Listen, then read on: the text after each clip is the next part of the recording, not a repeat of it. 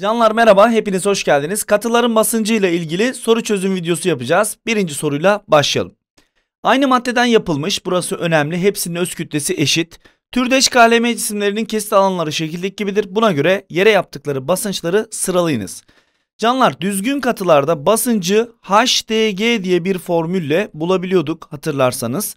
Hepsi aynı madde dediği için D'ler aynı fakat H'lar aynı değil. Mesela bunun yüksekliği 3H, bunun yüksekliği 2H, bunun yüksekliği de H olarak kabul edilirse M'nin basıncı 3HDG olacak. K'nın basıncı 2HDG olacak. L'nin basıncı ise HDG olacak. Yani PM büyüktür PK, o da büyüktür PL olarak sıralamayı yapabiliriz. Aşağıda verilen düzgün türdeş cisimler aynı maddeden yapılmış olup yükseklikleri birbirine eşittir. Buna göre yere yaptıkları basınçları sıralayınız diyor. Şimdi canlar burada 2 ve 3 numara için bunları düzgün katı olarak düşünebiliriz. Çünkü tabanları tavanlarına eşit. Düzgün katılarda HDG formülü geçerlidir.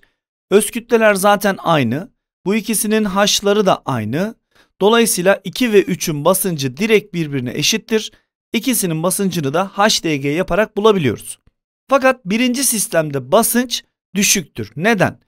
Eğer buralarda madde olsaydı yani bu böyle kesik olmasaydı böyle düz olsaydı bunun basıncı da diğerleriyle aynı olurdu değil mi? Çünkü o da düzgün bir katı olurdu ve HDG olurdu. Fakat buralar yok. Şimdi buraların olmaması S'nin mi azalmasına neden olmuş yoksa G'nin mi? Hani basıncın formülü G bölü S ya canlar. Bakın buraların boş olmasının S ile bir ilgisi yok. S yine aynı. S'de bir değişme yok. Ama buralar boş olunca G ne olmuş oluyor? Azalmış oluyor. G azalınca da basınç azalmış oluyor. Yani birincinin basıncı bunlardan düşüktür. 2 3'e eşit 1 onlardan düşük olacak. Hangi şık? Sorumuzun cevabı A şıkkı. Şimdi şöyle de düşünebiliriz.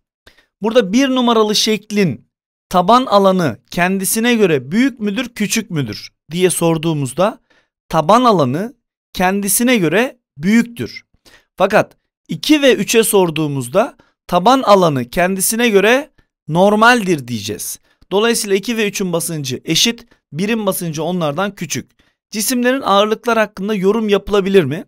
Şimdi canlar görsel olarak yorum yapmak doğru olmaz. Çünkü adam bize burada buranın S, buranın S, buranın 2S olduğunu falan vermediği için taban alanlarını bilmediğimiz için sadece böyle şekle bakarak 3'ün ağırlığı en büyüktür, 2'nin ağırlığı en küçüktür gibi şeyler söyleyemeyiz.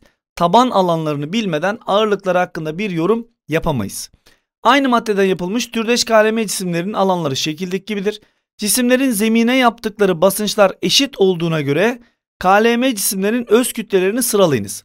Canlar burada aynı maddeden yapılmış e, ifadesini yanlışlıkla yazmışız. Özür diliyorum. Burayı siliyoruz. Çünkü öz kütlelerini sorduğumuza göre aynı maddeden yapılmış olmaması gerekiyor. Şimdi bunların basınçları birbirine eşit diye bize soruda söyledi değil mi? Yani H çarpı D çarpı G'leri eşittir diyebiliriz. Çünkü bunlar düzgün katı. Yine bunun yüksekliğini 3H, bunun yüksekliğini 2H, bunun yüksekliğini de H olarak kabul edersek HDG'lerinin eşit çıkması için mesela bu 3H ise 3H çarpı DM çarpı G eşit olmalıdır. H çarpı DL çarpı G'ye o da eşit olmalıdır. 2H çarpı DK çarpı G'ye. Buradaki G'leri tabii ki de sadeleştiriyoruz. Ve eşitliğin sağlanması için DM'nin 2D olması lazım. Hani 3 kere 2 6 yapsın. DL'nin 6D olması lazım. 6'ya 6'ya eşitliyorum hepsini. DK'nın ise 3D olması gerekiyor ki o da 3 kere 2'den 6 olsun. Yani DL en büyüktür. Daha sonra DK gelir. Daha sonra DM gelir. Sıralama bu şekilde olur. Aynı yükseklikteki X, Y, Z katı cisimlerin dayanma yüzeylerindeki basınçlar birbirine eşittir. Buna göre yapıldığı malzemelerin öz kütlelerini sıralamamızı istiyor. Şimdi canlar ben burada şöyle bir yöntem kullanacağım. Eğer X, Y, Z aynı maddeden yapılsaydı yani öz kütleleri aynı olsaydı bunların hangisinin yaptığı basınç en büyük olurdu diye size sorsaydım ne demeniz gerekiyor? Z'nin taban alanı kendine göre küçük olduğu için kendine göre neden küçük? Çünkü Z giderek daralmış. Yere küçük bir e, yüzeyde basıyor. Dolayısıyla kendi vücuduna göre taban alanı küçük olduğu için basıncı büyüktür diyeceğiz. Yani Z'nin basıncı en büyük olurdu. Y'nin ise tam tersine yere doğru giderek genişlediği için taban alanı gereksiz bir şekilde büyümüş. Dolayısıyla da taban alanının büyümesi de basıncının küçülmesine neden olur. Y de basınç olarak en küçük olurdu. X de taban alanı ve e, taban alanı ve ağırlığı orantılı olduğu için yani ne büyük ne küçük diyebiliyoruz. Çünkü normal o. Onda genişleme ya da daralma yok. O zaman X'in basıncı da normal olurdu. Ancak arkadaşlar şimdi burada Y normalde basıncı en küçük çıkması gerekirken çıkmamış. Yani Y de diğerleri kadar basınç yapabilmiş. İşte bunun nedeni Y'nin yapıldığı maddenin yoğun bir madde olması. Yani madde daha yoğun bir madde olduğu için e, basıncı küçük çıkması gerekirken çıkmıyor. Yani olumsuz şartlarına rağmen hani Y'nin taban alanı büyük ya bu olumsuz bir durum değil mi basınç için? Bu olumsuzluğa rağmen Y diğerleri kadar basınç yapabilmişse bu Y'nin öz kütlesinin en büyük olması anlamına gelir. Z'de de tam tersi durum var. Bu kadar olumlu şartlarda bile yani taban alanın senin kendine göre çok küçük. Bu kadar olumlu şartlarda bile senin basıncın diğerlerinin önüne geçememişse bu senin yapıldığın malzemenin öz kütlesinin küçük olması yani hafif olması ile ilgili. Dolayısıyla DZ de en geriye gider, DX de arada kalır. Yani bu soruyu en kolay bu şekilde yorumlayabiliriz diye düşünüyorum. Aşağıda verilen örneklerden hangilerinde amaç basıncı arttırmaktır? 2021 TYT sınavında inanın bu sorunun mantığına çok benzer bir soru geldi. Yani işte hangisi yapılırsa basınç artar diye soru soruldu. İşte bir tane tırın üzerine yük eklenirse mi basıncı artar? Sonuçta basıncın formülünün G bölü S olduğunu bilen bir öğrenci işte tırın üzerine ekstradan yük eklendiğinde G'nin artacağını yani basıncın artacağını anlayacaktır. İşte diğer bir şıkta diyor ki tır e, tırın teker sayısını arttırmak. Şimdi tırın teker sayısını arttırırsan yere daha fazla temas eder. Yani ne artmış olur? Tırın teker sayısı artarsa G değişmez, S artar. E S artarsa basınç azalır. Tamamen böyle yorumlayarak yapılabilecek bir soru TYT sınavında geldi. Şimdi bıçakları E yapmanın amacı basıncı arttırmaktır. Çünkü E yaptığınızda arkadaşlar bıçağın ağırlığı değişmez. Yani ağırlığı çok az da olsa azalır tabii ki toz şeklinde e, küçücük tozlar çıkıyor bıçaktan ama onu ihmal edeceğiz. G'de bir değişme olmuyor ama bıçağın yüzey alanı giderek küçülüyor. Hani E yapmak zaten bıçakların yüzey alanını inceltmek anlamına geliyor. Yüzey alanı küçülünce de basınç artıyor. Futbolcuların krampon ayakkabı kullanması. Şimdi canlar futbolcunun ağırlığına G diyelim taban alanına da S diyelim. Krampon ayakkabının özelliği ayakkabının zemininin e, yere komple değmemesi. Sadece şöyle çiviler var arkadaşlar krampon ayakkabıda. Yani berbat bir şekilde çizmiş olabilirim ama arkadaşlar şöyle işte her neyse. Bir ayakkabının sadece çivileriyle yere temas etmesi ayakkabının yüzey alanının küçülmesi anlamına gelir. Eğer böyle bir şey yapmasaydın şurası komple yere temas edecekti ve e, yüzey alanı kocaman olacaktı. Yüzey alanı büyük olursa basınç ne olacaktı? Küçük olacaktı. Ama kramponda tam tersine yüzey alanı küçük olduğu için basınç büyüktür. Yani krampon ayakkabının amacı basıncı arttırmak, çimlere ayakkabının batmasını sağlamak ve futbolcu ayakları çime iyice saplandığı için kaymayacak. Yani basıncını arttır ki adam kaymasın. Ağır iş makinelerinde palet kullanılması. Canlar burada palet tekerleğe göre daha fazla yüzey alanına sahiptir. Yani haberlerde falan böyle askeri araçların paletlerini görmüşsünüzdür. Yani dev gibi bir yüzey alanı var. Böyle kocaman bir yüzey alanı var. Yere çok büyük bir temas alanı var yani. Yani paletlerde yüzey alanı çok büyük. P eşittir G bölü S mantığına göre S'nin artması P'nin azalmasına neden oluyor. Biz ise artanları arıyoruz. Peki neden palet kullanılıyor? Çünkü yumuşak zeminlere saplanmasını engellemek için. Yani bir aracın palet kullanmasının nedeni mesela çamurlu bir yüzeyde giderken palet kullanırsan basınç az oluyor. Basınç az olunca saplanmıyor araç. Ama basınç çok olsa aracı saplarsın oraya daha da çıkamaz. Traktörlerin arka tekerleğinin büyük olması yine tekerlek büyük olduğu zaman S büyük olur. S büyük olursa basınç küçük olur. Kar ayakkabılarının geniş tabanlı yapılması geniş tabanlı yapıldığında da S büyük olur. Basınç küçük olur. Zaten kar ayakkabısının amacı kara batmamamız için yapılıyor. Niye batmıyoruz? E basıncı küçük. Buz pateni ayakkabılarının alt kısmının ince demirden yapılması. Şimdi canlar buz pateni ayakkabılarının alt kısmı ince demirden yapılınca yani aynı krampon mantığı gibi oluyor. E, ayakkabı yere komple değmemiş oluyor ve ince bir demir e, sadece yere değmiş oluyor. Yani kısacası yine P eşittir G bölü S mantığında S'nin azalması söz konusu. S azalınca da P tabii ki de artıyor. Yani bu da arttırmaya yönelik 1, 2, 4, 1, 2, 6 sorumuzun cevabıdır. Şekilde verilen X, Y, Z cisimlerinin yere yaptığı basınçlar eşittir. Yine öz kütlelerini sıralamamız isteniyor. Yine arkadaşlar benzer bir yorum yapacağım. Lütfen bu yorumu anlamaya çalışın. Yoksa soru daha çok zorlaşıyor. Şimdi ben önce X ve Z'yi yorumlayacağım. X ve Z'nin ikisi de düzgün katı. Şimdi düzgün katılarda HDG formülünü uygulayabiliyor muyum ben? Uygulayabiliyorum değil mi? Normalde Z'nin H'ı büyük. Yani buna ben 2H diyebilirim. Ama X'in boyuna H diyeceğim.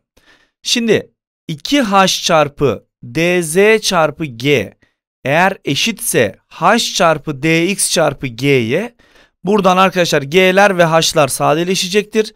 Dolayısıyla iki tane DZ'nin bir tane DX'e eşit olduğu yani DX'in kesinlikle DZ'den büyük olduğu ortaya çıkıyor. Şimdi gelelim X ve Y'yi kıyaslamaya. Şimdi X ve Y'yi kıyaslarken de şöyle düşüneceğim. Şimdi eğer bunlar aynı maddeden yapılsaydı diye yorum yapıyorum. X'in taban alanı kendisine göre normal ama Y'nin taban alanı kendisine göre büyük. Çünkü aşağı doğru genişliyor. Normalde Y'nin basıncının daha küçük çıkması gerekmiyor mu X'ten? Çünkü olumsuz bir durum var. Yani taban alanı kocaman olduğu için kendisine göre bir taban alanı yok.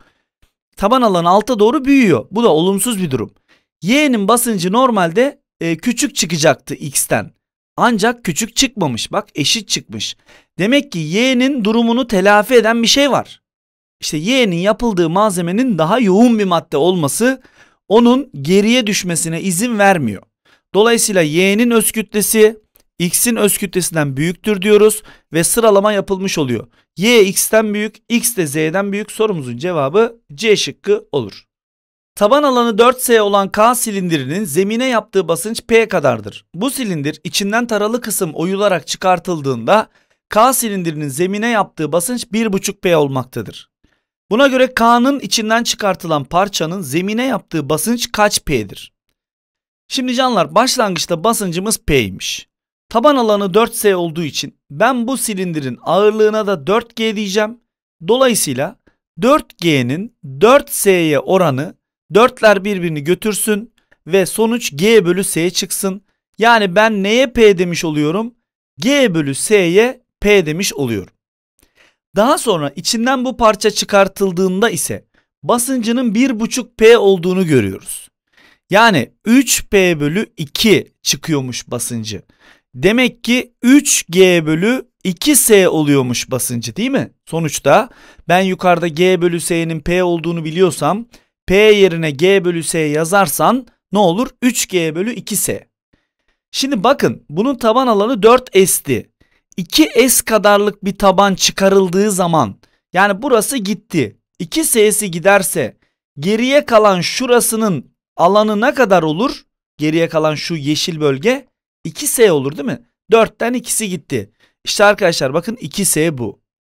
Demek ki silindirin geriye kalan ağırlığı da 3G olmalı. Yani arkadaşlar bu oyuk parça çıkarıldığı zaman şu geriye kalan şu kütle yeşil bölge demek ki 3G oluyormuş. Taban alanı da 2S oluyormuş ki basıncı 3 bölü 2 oluyor. Yani 1,5 oluyor. Şimdi toplam ağırlığım benim 4G'ydi değil mi başta? 3G kadarı hala silindirde kaldıysa G kadarı da bu oyulan parçada kalmış demektir. O zaman bu parçanın basıncı G bölü 2S'dir. Burası zaten 2S. Yani ben de buna tabii ki P bölü 2 diyeceğim. Çünkü G bölü S gördüğüm yere P yazabildiğimi sorunun en başında söylemiştim. Yani sorumuzun cevabı A şıkkı olarak bulunur. Türdeş eşit hacim bölmeli bir konumundayken yere yaptığı basınç P1, 2 konumunda P2, 3 konumunda P3 bunları sıralamamız isteniyor. Şimdi birinci konumda 4 tane tuğla var. Ağırlığa 4 diyorum.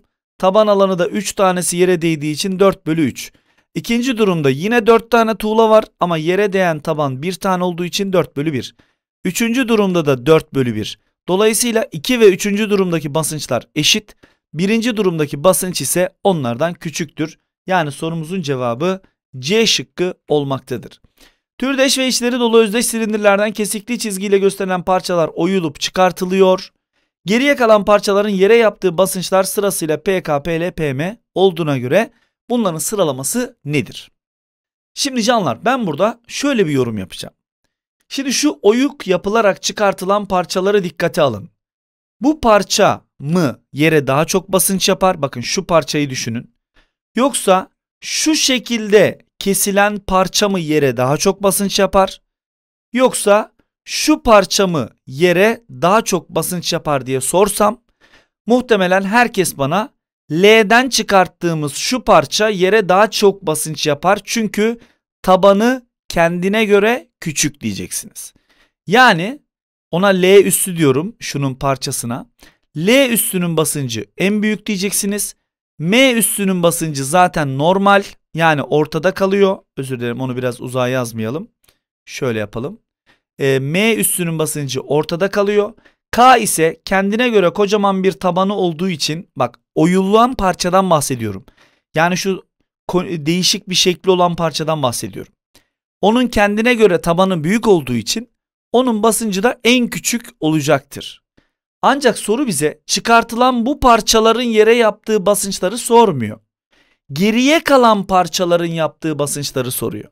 Yani arkadaşlar içlerinden bu parçalar çıkartıldıktan sonra geriye kalan şu parçanın bakın yere yaptığı basınç soruluyor.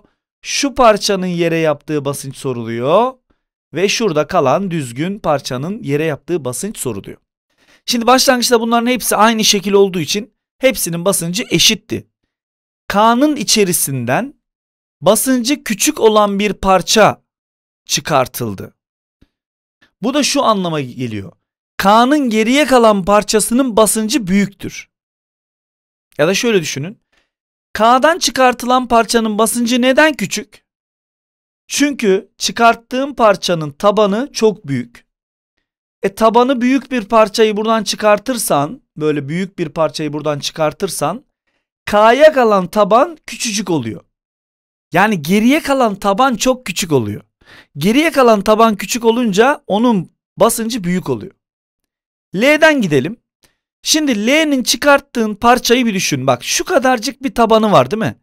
Yani arkadaşlar sen bunu buradan çıkartıyorsun ama hala geriye yere temas eden kocaman bir taban kalıyor. Bu da onun basıncının çok küçük olmasına neden oluyor. M zaten normal bir taban ve normal bir cisim olduğu için M her zaman ortada kalır. Benim ismim oluştu Kemal. Dolayısıyla doğru yoldayız diyebiliriz. Biraz böyle e, ne derler Şekildeki cismin zemine yaptığı basınç P, basınç kuvveti F'dir. Cisim ters çevrilirse yere yaptığı basınç ve basınç kuvveti ne olur? Şimdi arkadaşlar basınç P eşittir ağırlık bölü taban alanıdır ve e, buradaki ağırlık basınç kuvveti anlamına gelir. Dolayısıyla biz ters de çevirsek bu cismin ağırlığı değişmeyecek. Yani bir kere basınç kuvvetinin değişmeyeceğini hemen söylüyoruz. Gelelim basınç ne olur? Ya da kaç olur bak değeri kaç olur diyor. Yani P iken daha sonra ne olur diyor. Şimdi arkadaşlar şu an bunun tabanına eğer 2S derseniz sonra da S derseniz hayatınızın yanlışını yapmış olursunuz. Çünkü silindirlerde yarıçap 2R demek aslında taban alanı pi 2R'nin karesi demektir. 2R'nin karesinden de 4 gelir. Yani biz bunun alanına 4 pi r kare deriz. Buranın alanına ise pi r kare deriz. Dolayısıyla 4 kat fark var. Yani buna S derseniz buraya 4S dersiniz. Dolayısıyla başlangıçta basınç G bölü tabanı burasıydı değil mi başlangıçta? Yani 4S idi. Daha sonra basıncımız taban burası olacak ters çevirince G bölü S olacak. Eğer siz G bölü 4S'ye P diyorsanız burada G bölü S'yi yalnız bırakırsanız yani 4'ü karşıya atarsanız G bölü S ne çıkmış olur arkadaşlar 4'ü çarpı olarak attığın için 4P. Yani ikinci durumda basıncımızın 4P olacağını anlıyoruz. Ama basınç kuvveti yine F'dir çünkü ağırlık değişmediği için. Ve geldik bu videonun son sorusuna. Özdeş ve türdeş X ve Y cisimleri şekil 1'deki gibi dururken şekil 2'deki pozisyona getirilirse X'in Y'ye uyguladığı basınç ve Y'nin yere uyguladığı basınç nasıl değişir? Şimdi bunlar özdeş tuğlaysa ben bunların ağırlıklarına G diyorum. Bunun bu küçük tabanına S, büyük tabanına da 2S diyorum. Dolayısıyla şurası da S olmuş oluyor. Şurası da S, şurası da 2S olmuş oluyor. Yani birinci durumda X'in yaptığı basınç nedir? Ağırlığı G tabanı S. G bölü S'dir. Birinci durumda Y'nin zemine yaptığı basınç ise bu ikisinin ağırlıklarını toplayacağım. Yani 2G bölü ama taban 2S. Bunları yazacağım. İkinci durumda yani Px üssü ve Py üssünü bulmak istiyorum. Şimdi x'in yine ağırlığı g ve x'in zemine değen kısmı yine şurası arkadaşlar. Şuranın bir anlamı yok. Yani burası da ne kadardı? Zaten s kadardı. Dolayısıyla yine burada g bölü s oluyor. Ama ikinci durumda zemine değen yer gördüğünüz gibi s'ye düşmüş. Yani ağırlıklar tamam yine g ve g'den dolayı sonuçta zemine toplamda 2g ağırlığı etki ediyor. Ama zemin bu sefer s'ye düşmüş. Yani px'te herhangi bir değişme olmadı. Y'nin yaptığı basınç eskiden ikiler gidiyordu ve 1 çıkıyordu. Şimdi 2 bölü 1'den yani şunlar 2 e, çıkıyor. Yani kısacası basınç arttı. X'in değişmez Y'nin artar sorumuzun cevabı C şıkkı. Sizleri arkadaşlar artık katıların basıncı ile ilgili ödev kitabınızdaki sorulara yönlendiriyorum. Oradan soru çözün. Elinizde başka kaynak varsa onu da çözün ve yolumuza devam edelim. Kendinize çok iyi bakın. Allah'a emanet olun. Hoşçakalın.